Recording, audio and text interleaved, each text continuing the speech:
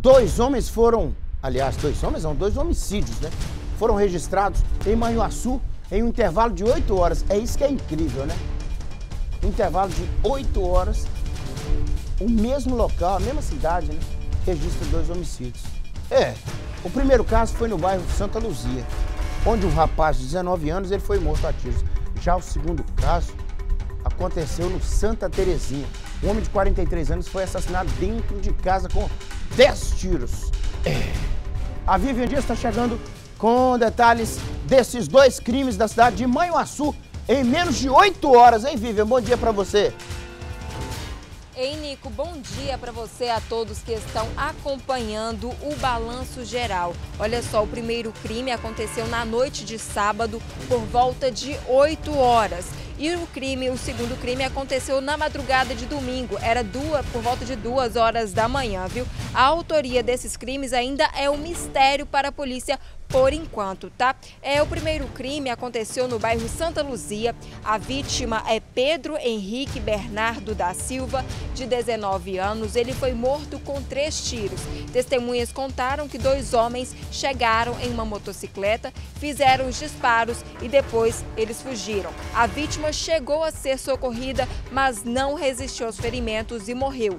Junto com esta vítima, a polícia encontrou pedras de crack e dinheiro né, que foram apreendidos bandidos. É, o segundo crime foi no bairro Santa Terezinha. A vítima é Reginaldo Gomes Lanes, de 43 anos. Ele foi morto em casa com 10 tiros. Dois suspeitos também chegaram em uma motocicleta, se aproximaram, invadiram o imóvel da vítima, pegaram ela, levaram ela para fora e fizeram os disparos. É, uma pessoa, né, uma testemunha, contou que os suspeitos antes de matarem a vítima, disse que estava fazendo aquilo porque a vítima teria roubado uma TV.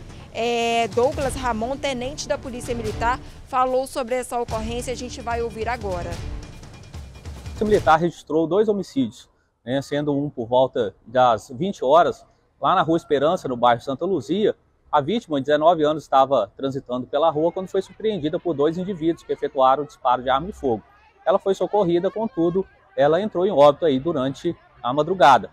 Já a segunda situação ocorreu por volta às duas horas no bairro Santa Terezinha, sendo a vítima surpreendida na residência da testemunha por dois indivíduos que efetuaram disparos é, de arma de fogo contra ela. Ela já entrou em óbito no local. A Polícia Militar, no momento, está realizando ainda diligências na tentativa de identificar esses autores do fato. Sobre esse primeiro fato ocorrido no bairro Santa Luzia, esse, a, a, vítima ela já tinha sofrido aí busca e apreensão na sua residência, ainda esse mês, no dia 3, por parte da Polícia Militar. Na ocasião lá foi localizado é, cocaína na sua residência.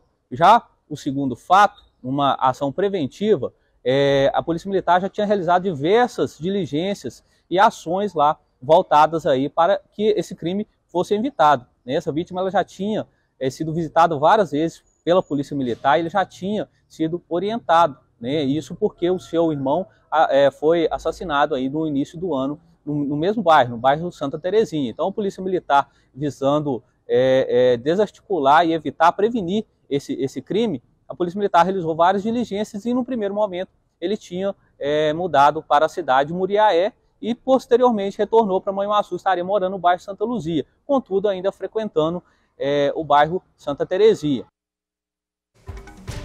Projéteis e estojos calibre 9 milímetros foram apreendidos no último local né, do crime, no caso no bairro Santa Terezinha. Esse material foi encaminhado para a delegacia da Polícia Civil e a polícia continua as investigações para descobrir quem são esses autores. Nico, volto com você.